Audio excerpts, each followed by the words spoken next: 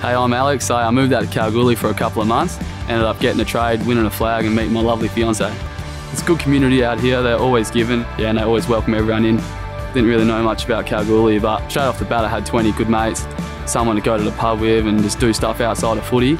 I managed to now work on a mine site out in um, Paddington, so I probably wouldn't get that job living in Perth and all that exposure. I think once you come here and find out what the town's about, and it's more than just a town and something, something you can really be a part of. It's pretty good. Most of the boys, I'll have a bit of banter on the field, but we're all pretty good mates off the field and always keen for a beer in town if you see any of them out. Facilities out here are pretty good as well. You have the Oasis, there's a nice golf course out here, one the top in Australia actually. There's five clubs, uh, four in town and one in Kambalda.